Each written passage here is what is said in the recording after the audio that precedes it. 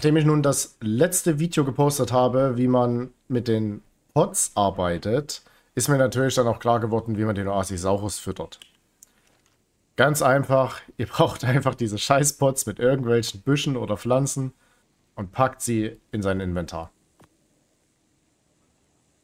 Es ist halt jetzt total logisch, aber wenn man das vorher gar nicht geschnallt hat, wie man die Pots benutzt, ja, dann konnte man auch ewig nach Futter für ihn suchen. Ihr seht, sein Futter erhöht sich jetzt halt, er fängt jetzt an zu essen. Kleine Büsche ist er, glaube ich, nicht. Oder? Doch. Er hat nur eine Priorität, so wie es aussieht. Also er wird die großen Pflanzen... Ja, der geht nach dem Gewicht, oder? Ne, geht er auch nicht. Wonach geht denn der?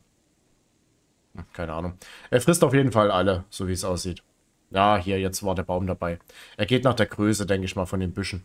Die haben zwar alle dasselbe Gewicht, aber ich gehe mal davon aus, die Größe, äh, so groß wie was für ein Busch ihr halt geholt habt, das frisst er zuerst. Der eine Baum hat ihn halt 400 Food gegeben. Ja, damit könnt ihr den Oasisaurus endlich füttern, er wird euch nicht mehr verhungern.